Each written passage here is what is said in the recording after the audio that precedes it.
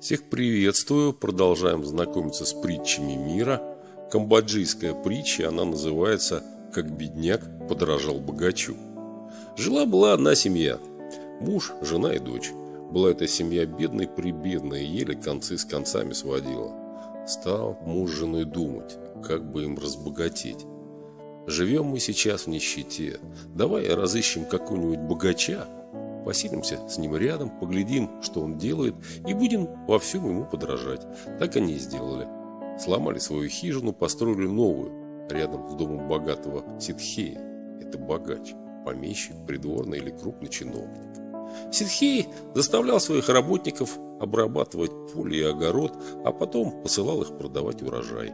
Бедняки старались подражать Ситхею, в чем могли работали в поле, а потом часть урожая продавали на базаре.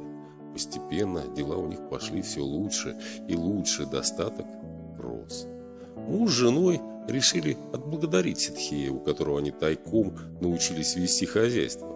Муж взял горсть золота и отправился к богачу. «Для чего ты принес мне золото?» – удивился Ситхей.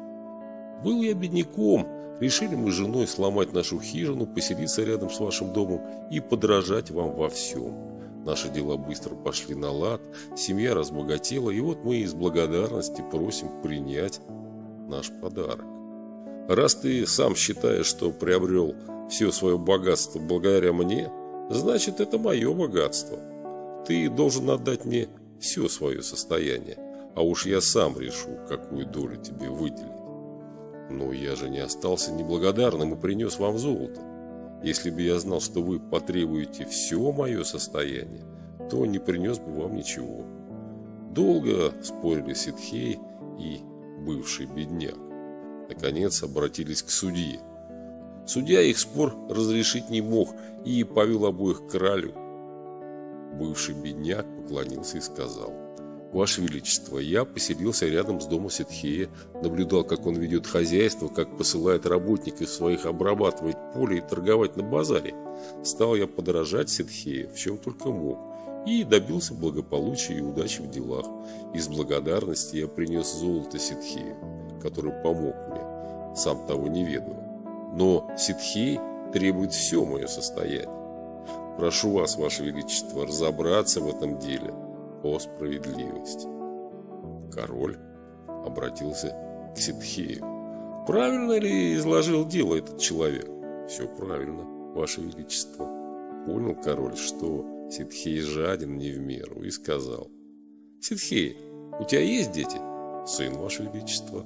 А у тебя, обратился король к бывшему бедняку, дочь, Ваше Величество. Чтобы между вами не было раздоров, я повелеваю обеим семьям породниться. Тогда и делить вам будет нечего. Ситхей и бывший бедняк низко поклонились королю и удалились, чтобы последовать мудрому королевскому решению. Вот такая камбоджийская притча, она называется «Как бедняк подражал богачу». Пока-пока, до свидания.